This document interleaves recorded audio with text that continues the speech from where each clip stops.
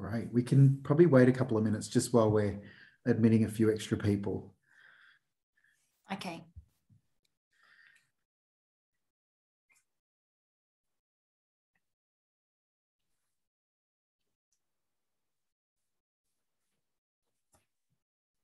So is the final one tomorrow night?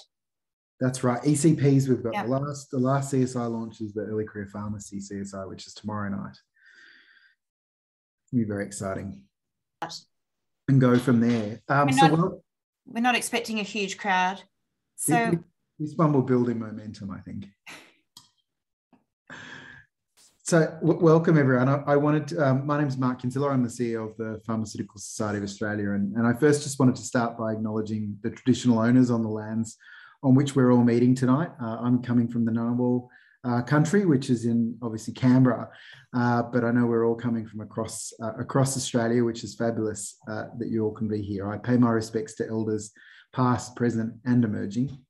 Uh, I also reflect on um, the work that pharmacists are doing at the moment during the pandemic, and particularly uh, pharmacists who are locked down in in uh, in, in uh, Sydney, in uh, Canberra, in Melbourne, uh, and having to deal with supporting the community during this pandemic. I, I, pay a huge amount of respect to all the pharmacists who have been working incredibly tire- tirelessly to support uh, the community, uh, particularly as we now move into the, the strong vaccination phase for pharmacy as being the sort of main, main push now to help get the community vaccinated. So tonight um, we have a very exciting launch of our third community of specialty interests, the respiratory care uh, CSI. Uh, and it's my delight to have Sinthia uh, Bosnic here, who is the chair of that uh, committee. I'll introduce Sinthia in a moment, but uh, I just wanted to uh, introduce the concepts of CSI and what we're trying to achieve at PSA um, in launching these really important communities. So, Sinthia, I might get you to pop onto the next slide if that's okay. So, um, PSA is committed to uh, professional development, and we've been very keen to, uh, and particularly recently, improve our uh, CPD and improve our education, training, development, as well as our advocacy. And I think what um, we've noticed is for a long time is that probably our members have been asking for a vehicle to be able to have two-way conversation with the organisation that represents them with a lot of stakeholders and key decision makers. And so uh, the reason we've created these communities of specialty interest is, a, is, a, is purely as a vehicle for our members to collaborate on uh, areas of practice within pharmacy, but also for those ideas of collaboration uh, to then form the pillars of advocacy and education and training and clinical guidelines that PSA advocates for. Uh, and so that's that's really what this is about. It's formalizing how we engage with our members to be the very best PSA that represents you uh, in the profession. I might go to the next slide, Sinthia, if that's okay. So essentially, it's a member advantage. So, so we've set this up as being a, um, a member benefit. So we've got other forums like the Early Career Pharmacy Facebook page that are, um, are you know, really engaging forums with, you know, 11, 12,000 pharmacists on them. Um, but, you know, there's not a lot of um, privacy in that group. It's not a safe space to have, uh, you know, really um, robust conversations around where pharmacy is going. Uh, it's not a, a, a, you know, a great environment for PSA to be able to foster and encourage new ideas in the clinical practice areas of pharmacy. And so, uh, what we want to do is engage our members and encourage members to be able to have a, a safe space, an, an, environment where you can talk about the challenges in your clinical practice area, but also where you want to advance, uh, led supportingly by a, a proper leadership group. Uh, and then with the PSA executive and staff and things to support you as well. So I might just go to the structure of the CSIs. So at the moment, we've launched four CSIs, but we will want to bring on other communities of specialty interest as we progress. And you'll see from uh, what we've managed to launch uh, in this week, uh, we've got a community pharmacy CSI, we've got a multidisciplinary care CSI led by Debbie Rigby, uh, which focuses on things like consulting pharmacies, team-based care pharmacy, uh, we've got the respiratory pharmacy, uh, uh, sorry, the respiratory group, and then we've also got the early career pharmacy group. So I think what's really exciting about the respiratory one is it's probably an area that uh, you know pharmacists really excel at uh, respiratory care for patients and are often major problem solvers for patients uh, as they're in their care journey. Um, and so this is just one of those really interesting clinical practice areas that I think will take off really rapidly in terms of the CSIs. So the CSIs report to me, the CEO of the PSA. We've done that very deliberately. So there is a direct line between all of the activities that happen in the CSI with the organisation that represents and supports you.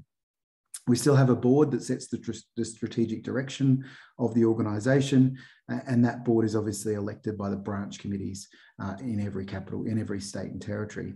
Um, but these CSIs are quite deliberately embedded in the activities of the organisation. And you'll notice on the call today also, we've got Chris Campbell, who's the head of policy uh, for PSA. Um, Chris does all of our advocacy, advocacy and policy work, as well as a lot of our, um, you know, advanced practice, advancing practice programs and things. And we've also got Chris White on the call today.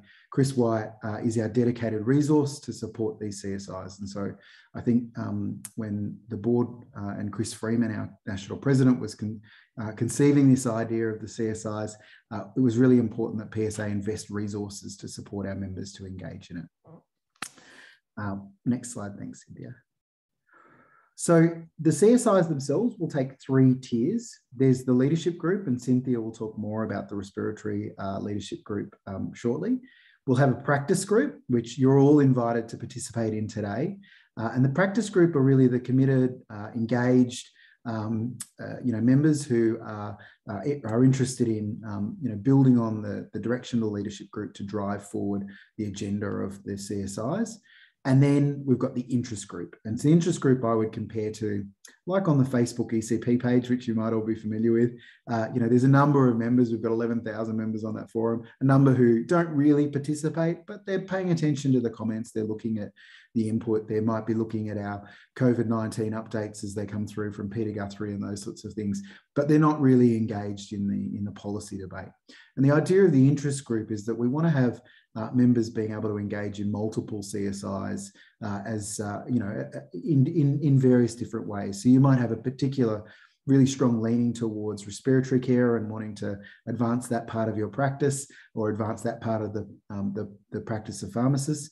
But you also might be an early career pharmacist and want to um, listen into what the early career pharmacy uh, CSI is doing. And so you might be an interest group member of the CSI, uh, of the early career pharmacy CSI, but on, on the practice group of the respiratory one. And that's exactly how we want that to happen. Also, we have the leadership group, um, the, the chairs of the CSI, so Sinthia um, for respiratory, the chairs have been meeting regularly as well. So we want those groups to be cross-pollinating ideas. And how that might work, for example, is you know the community pharmacy group might be looking at um, some of the, the ideas for better roles and remuneration in community pharmacy and might think, hey, this is a really, what about we look at some sort of respiratory idea as a future, uh, you know, business idea for, for community pharmacy. And they might say to Sinthia and the leadership group, hey, is this an area that is might be worthwhile exploring further through the respiratory CSI? So that kind of collaboration, but still sticking within our swimming lanes is really important for uh, how we see the CSIs working. So, without further ado, uh, that, that's essentially how we were hoping the CSIs uh, would work. Now, this CSI I am particularly excited about. Uh, when we were setting up the CSIs, we looked at the typical sort of practice areas of pharmacy, you know, um, community pharmacy, uh, you know, early career pharmacy, general practice. Um, we, we, definitely want to look at a CSI in Aboriginal and Torres Strait Islander health. Uh, but when, when we met Sinthia, Sinthia has the most amazing passion for respiratory care. And we thought this was just the best opportunity to look at an area that is really important to pharmacists. I've met uh, since being the CEO of the PSA over the last nearly two years now. I think I've, I've gone into thousands of pharmacies and I'm always blown away at how many pharmacists uh, do really active respiratory care uh, um, consultations for patients, you know, being it from CPAP devices all the way through to good education on how to use puffers. And so I think this CSI is amazing. And Sinthia is exactly the person who I think will be wonderful to lead it. So Pro Professor uh, Sinthia Bosnic is uh, an internationally recognized leader in clinical pharmacy. Uh, she is uh, particularly focused on the respiratory medicines um, medicine space. She leads national and international research groups focusing on the use of respiratory medicines in different patient populations. She works across a consortium of healthcare settings with a multiple dimensional and interprofessional approach to understanding and improving health outcomes for patients uh, using respiratory medicine. Uh, she is on the external committee for allergic uh,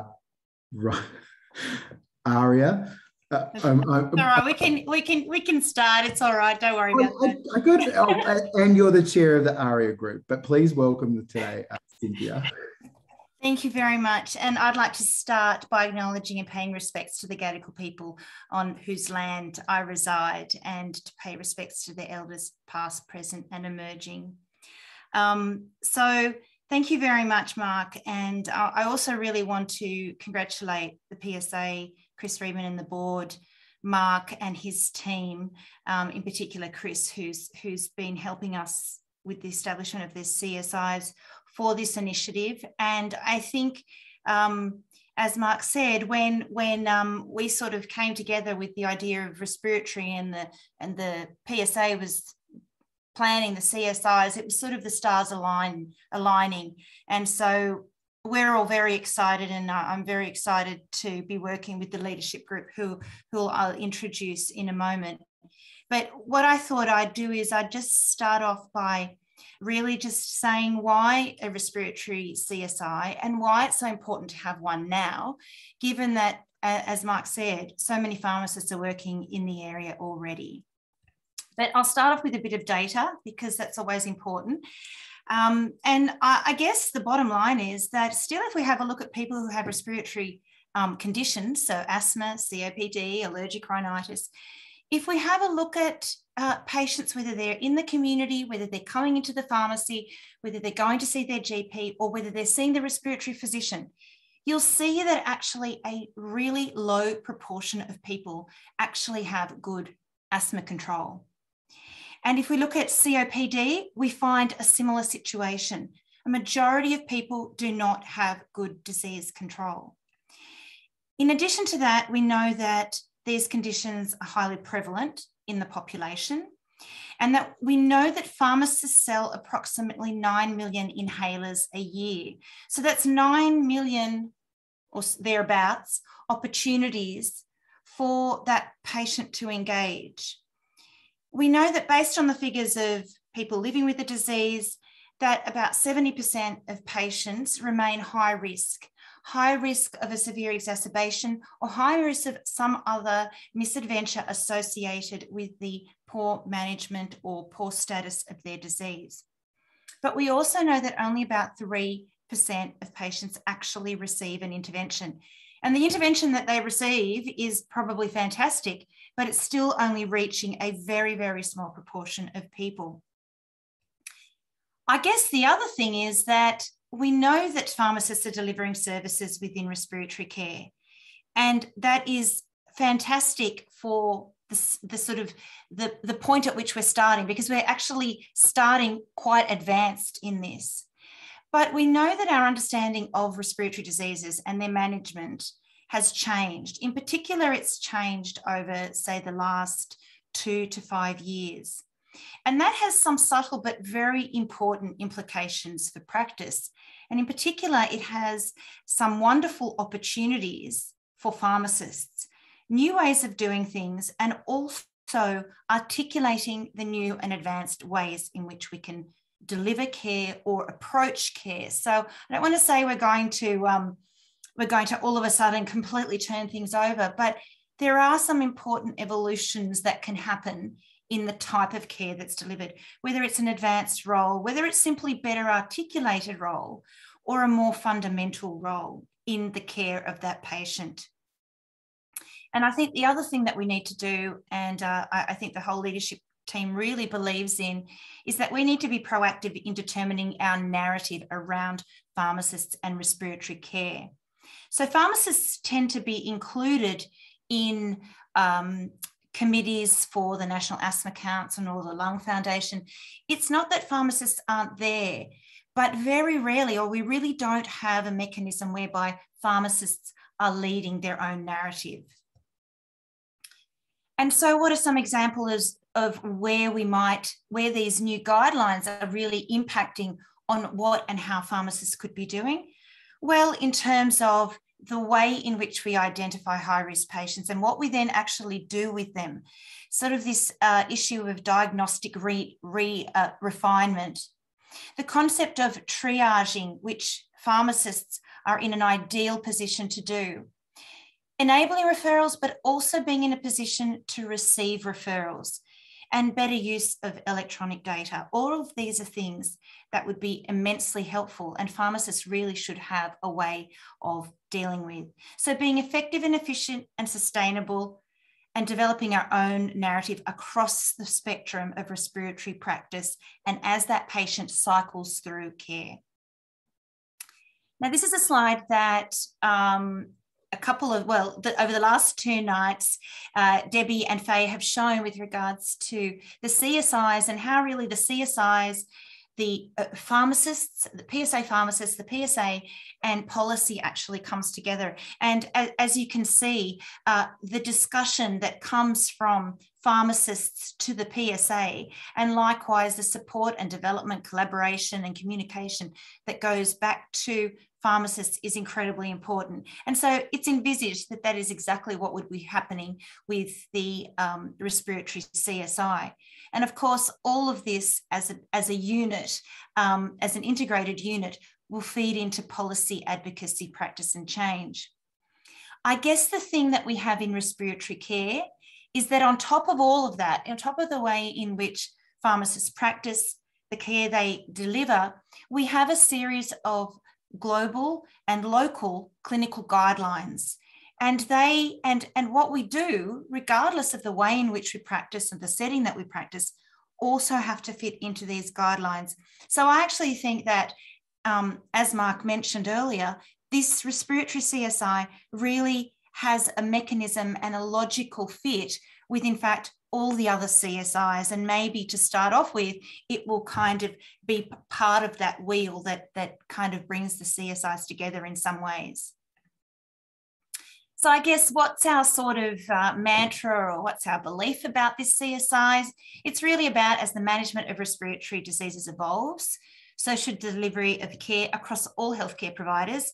But it's time for the role of the pharmacist to evolve in this paradigm to be, re- to be defined and recognised so that other stakeholders recognise pharmacists for the amazing job that they do do in respiratory care and the amazing job that they will continue and to evolve and to do. So the CSI in respiratory care will work towards this and in recognition of the unique role of the pharmacist to improve outcomes for patients with respiratory conditions, but also to service the needs of pharmacists. So, what are we aiming to do? Well, establish a peak respiratory pharmacist leadership team. And thank you to the CSI because you've enabled us to bring together some of these uh, leaders um, already. And to have a national network of, of, practicing community pharmacists who have a who are practicing in respiratory care, as well as those who are interested and those who just want to peripherally hear about what's going on. And once again, the CSI is helping us bring all that together. We also want to define the current status of respiratory management in pharmacy. So, what are pharmacists facing at the moment? What would pharmacists, uh, what are pharmacists aiming to do at the moment, and where do they see themselves going?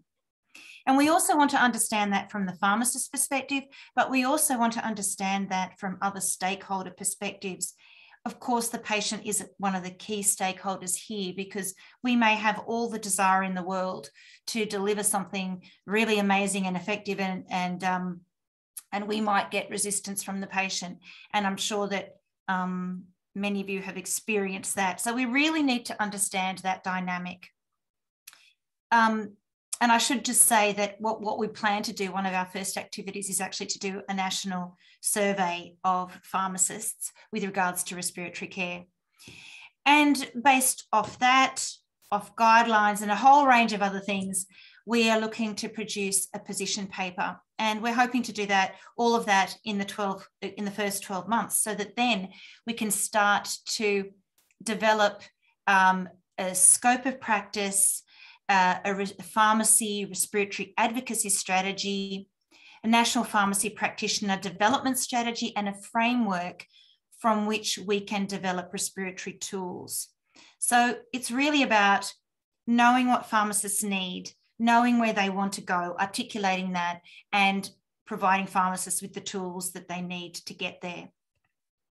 With that, we're looking to build capacity uh, with respiratory expertise um, in pharmacy. And as part of that, we are also looking that we will be mentoring pharmacists to leadership roles in respiratory care. Now, being the nature of what it is and the fact that it is focused on uh, a clinical condition for patients and that pharmacists are sort of one part of that, uh, we are also going to need to take a very outward facing approach in our engagement with stakeholders. And these are the key stakeholders and stakeholder groups that we will be engaging with because I'm sure that we'll find it very easy within our own community to get agreement and to get recognition for what we should be doing. But the additional challenge is to make sure that other stakeholders actually uh, agree with us and are willing to embrace what it is that we're doing. And that's going to be a very important part of how we move forward. So, our leadership team, um, I uh, listed here. Um, I'd just like to take the time to tell you a little bit about each of these individuals. Some of these individuals are people that uh, you already know or have heard of, and some people perhaps you you may not have come across, but um, but but you will. And I've just listed them here in alphabetical order. So we'll start off with um, Sherry Barden, and uh, Sherry is a is has uh, has been a pharmacist for many years, and in fact has practiced in metropolitan areas, in regional and rural pharmacies in New South Wales, Victoria, and Queensland. And over the last seven years, Sherry has practiced near her hometown of Bunnaloo in the border town of Moama. And Sherry is passionate about respiratory care. She's a qualified asthma educator and has actually participated in several of the community pharmacy respiratory trials. Um, so we're really delighted that uh, we were found by Sherry and that she's, she's joined our team. The next person is Catherine Borg. And um, Catherine is, oops, I need to, sorry, that's Sherry's picture there. Uh, the next person is Catherine Borg. Um, sorry about forgetting to uh, click the button for that photo. Um, Catherine is an early career pharmacist with community and hospital pharmacy experience. She's currently senior clinical pharmacist at Concord Repatriation General Hospital and Concord Centre for Mental Health. And uh, Catherine has experience on the respiratory ward at Concord Hospital and is currently undertaking a Masters of Philosophy at the Woolcock Institute of Medical Research. And she's looking at understanding COPD patients' experiences with their medications. Okay. Dr. Lin Chung uh, from the ACT is a pharmacy owner, pharmacy practitioner, and a clinical assistant professor at the University of Canberra. She's, she has a wide range of experience in hospital and community pharmacy, as well as government and education. She's worked for local PHNs and uh, has got a network um, outside of uh, a really good network outside of pharmacy. Her particular expertise is in patient health networks, and she's published several publications in the area of asthma patients and their views on pharmacists and multidisciplinary care. Uh, the next member of our team is Dr. Biljana Cvetkovski, um, who is also a pharmacist with community hospital and rural pharmacy practice experience. She's currently a postdoctoral research fellow at the Woolcock Institute of Medical Research, and her area of expertise includes exploring the management of respiratory diseases from the perspective of the patient with a particular focus on optimising primary care engagement. Okay.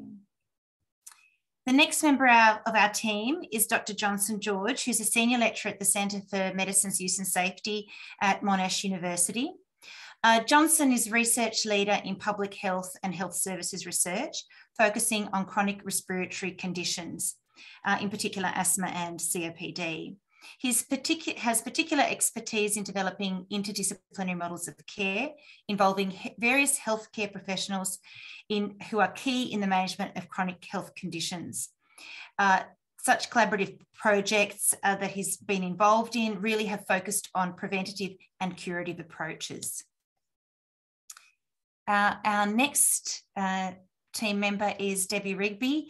And if, if you don't know Debbie, then you've been living under a rock, I think. But Debbie, it's a great pleasure to have you in our team. And uh, Debbie is an advanced practice pharmacist uh, with postgraduate qualifications in clinical pharmacy, geriatrics, and respiratory medicine. She is also chair of one of the other CSIs, the Interdisciplinary Team Care CSI, which was joined, uh, which was launched last night.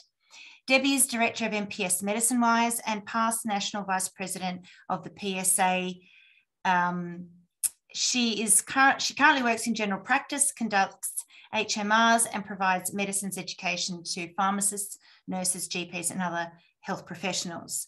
And Debbie has received numerous awards, including a PSA Pharmacist of the Year, the inaugural AACP Consultant Pharmacist of the Year, and SHPA Clinical Pharmacy Award.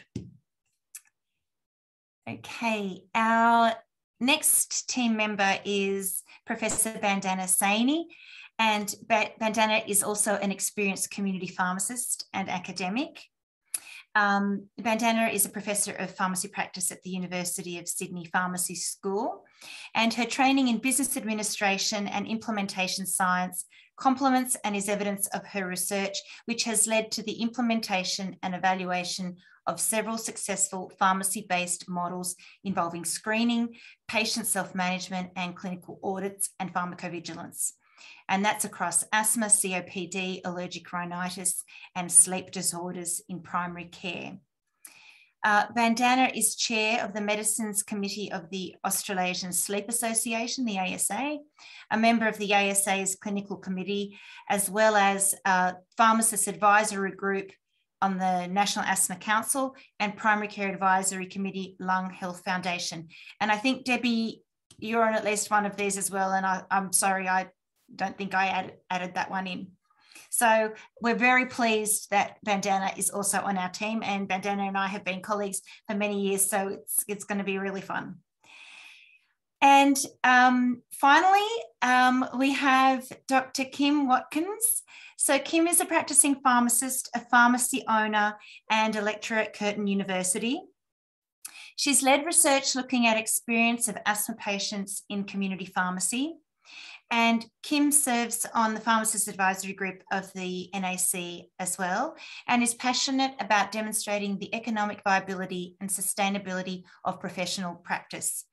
And um, I think it's really important to note also that Kim is the first author of research that was conducted in Australia a few years ago, which looked at patients' experiences um, in coming into the pharmacy when asking for a reliever medication.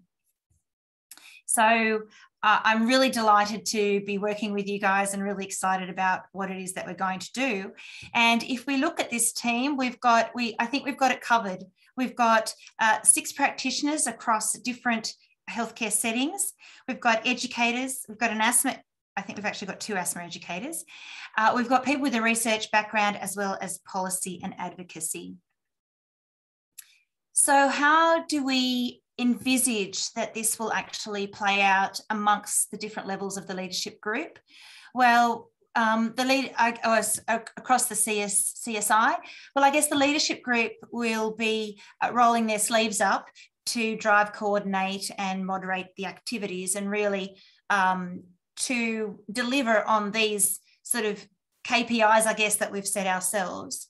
And then, of course, we'll be uh, liaising and looking to the practice group to, in, to engage in dialogue, provide us with feedback, support dissemination throughout the network, and, and continue to, to be active in what they're doing in respiratory and perhaps test our strategies um, and also take up any opportunities that we, that we look forward to providing uh, within the leadership group.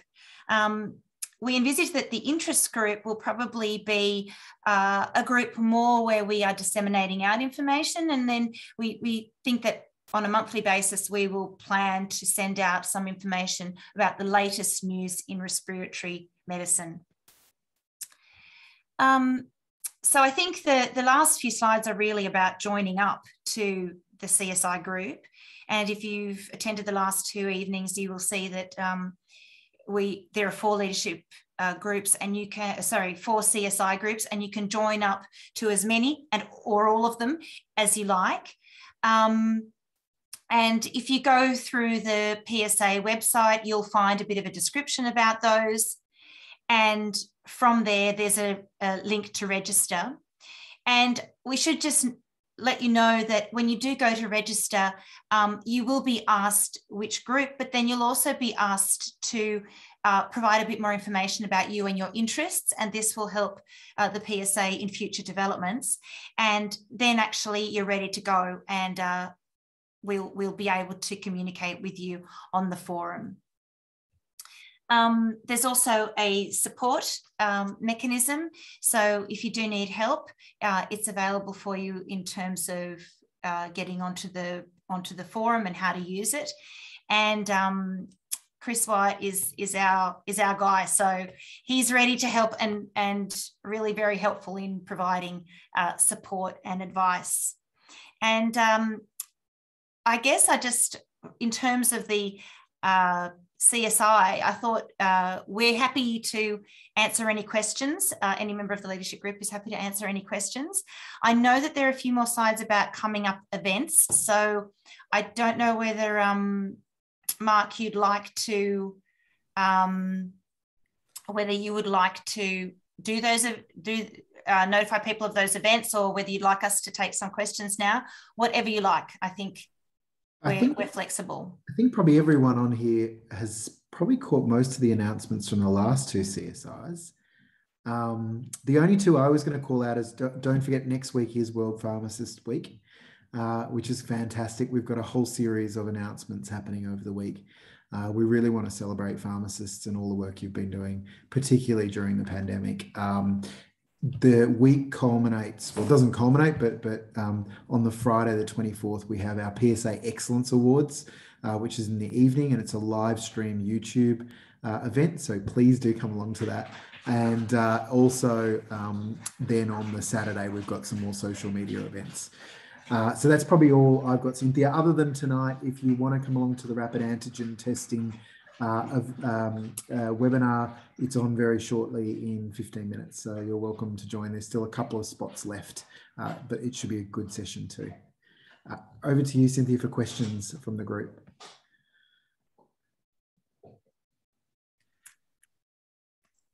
Someone's got to have a question. Am, I am I okay to yeah. ask a question? Thank you so of course. much. I'm really exciting, Sinthia, of what you got planned. Uh, I, I, like the full 12 months and um, I'm going to give you the opportunity as chair. I, would love to hear from uh, each of the leadership group that, that are on what do they want to achieve out of this? What are they, where, if, if there was one thing, if they were to say that the CSI has been successful, um, how they've helped to move the profession. Um, uh, but I'll let you as as the as the chair to choose who you're going to pass. Oh, okay. To I'm going to go with Vandana first.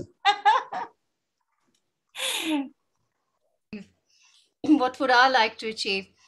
I think it would be great to see after about 20, more than 20 years of research work on looking at what pharmacists can do for asthma, for COPD, to have some, you know, a sense of standard practice, um, some guidelines um, that, that I would love to see rolled out so that everybody, all pharmacists, are working towards that. And some can then choose to have a specialist level or advanced care practice level uh, in respiratory.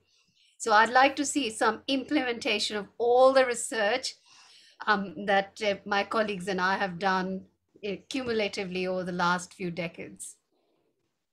Thanks, Vandana. I, I think we'll go to uh, Johnson and then we'll go to Debbie. So I, I, it's unfair to just sort of drop people, but Johnson, you're next. Hi, everybody. Um, it's very exciting to be part of this group, and I really look forward to working with you all uh, in achieving some big goals that um, Cynthia has already outlined. I sit on the COPDX Guidelines Committee, and it's very important that we work with other health professionals uh, GPs, respiratory specialists, uh, physiotherapists.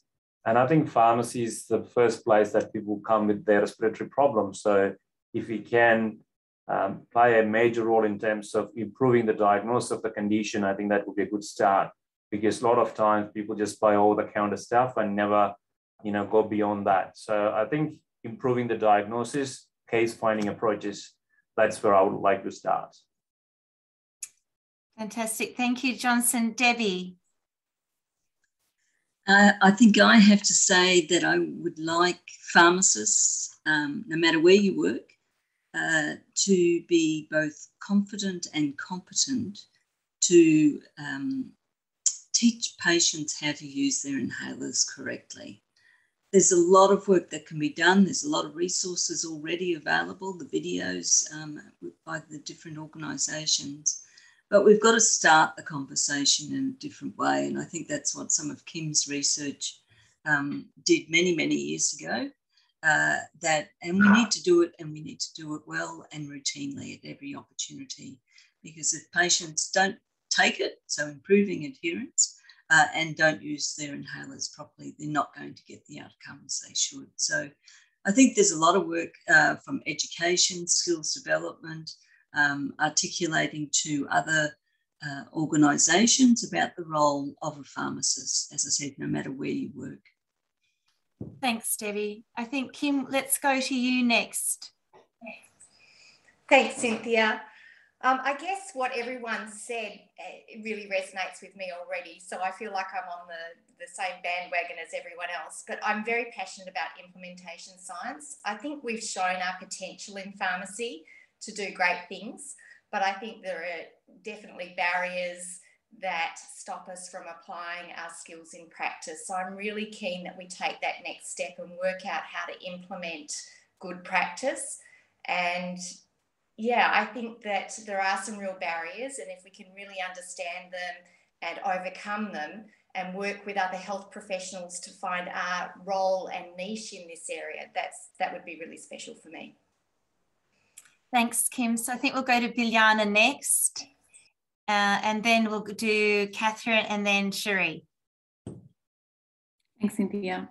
I wholeheartedly agree with everyone and their sentiment this evening, but what I'm really excited about is this being a platform for us to hear from community pharmacists that are in practice, because we're often the more vocal people who are called upon um, to give our advice and um, to give our opinion. But really, the people on the ground are the ones that are experiencing the issues day to day. And I'm really looking forward to hearing about it on this platform. So I think it's a wonderful, wonderful initiative. Thanks, Biljana. Catherine?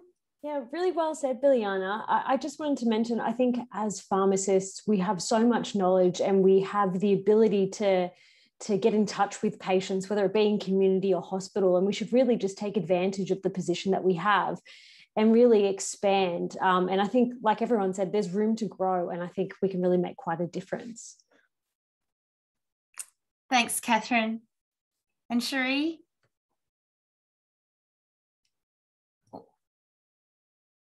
We just, just, just turn, you're on mute.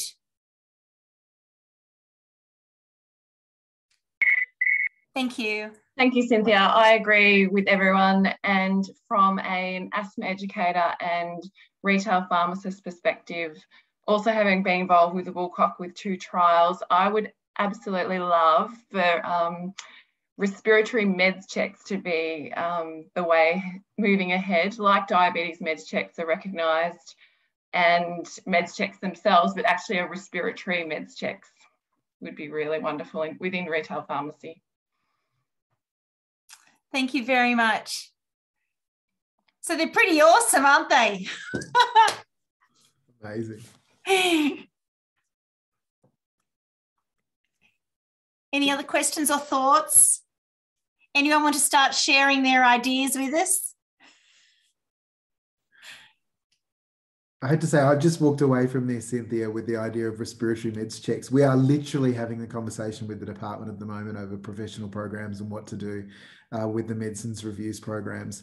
Uh, this is exactly why we need these sorts of groups, right? Like, you know, we, we get asked for um, advice on these things to have a group that we can come and talk to you about what what what really needs to happen is fantastic. That's why this group is just so important.